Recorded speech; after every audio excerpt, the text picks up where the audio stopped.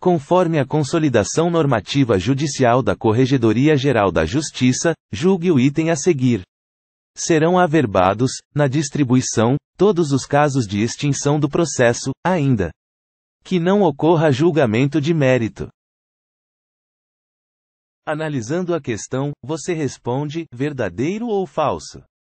O gabarito é verdadeiro. Artigo 432 serão averbados na distribuição todos os casos de extinção do processo, ainda que não ocorra julgamento de mérito.